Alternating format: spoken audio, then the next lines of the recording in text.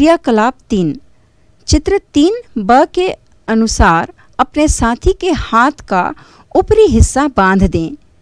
उसी हाथ को सीधा रखते हुए कसकर मुट्ठी बांधकर चार पाँच बार हिलाने, कोहनी से मोड़कर सीधा करें, के लिए कहें।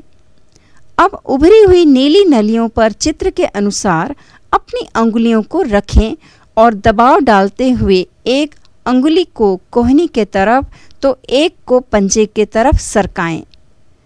क्या इनके बीच नीला रंग गायब हो गया? अब पंजे की तरफ़ से अंगुली को हटाएँ, फिर प्रयोग को दोहराकर कोहनी की तरफ़ की अंगुली को हटाएँ। रक्त किस तरफ़ बहता हुआ नज़र आता है?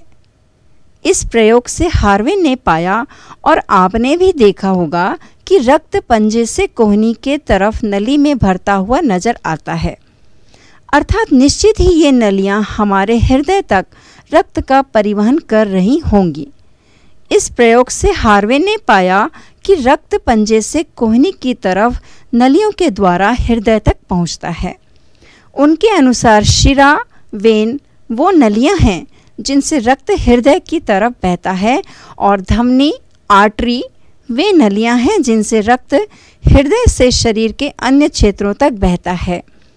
उन्होंने सुझाया कि हमारे शरीर में रक्त का बहाव एक चक्रीय परिपथ में होता है।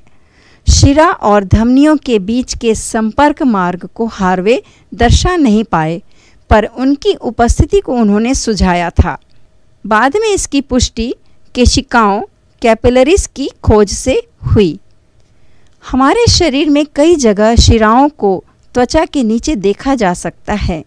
उनमें बहता हुआ रक्त नीले रंग का प्रतीत होता है, पर वास्तव में यह रक्त गाढ़े लाल रंग का होता है।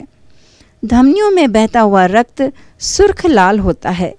धमनियों को कुछ ही जगहों में महसूस कर सकते हैं, जैसे कलाई, कोहनी आदि, क्योंकि कुछ धमनियाँ ही सतही अर्थात त्वचा के ठीक नीचे पाई जाती हैं।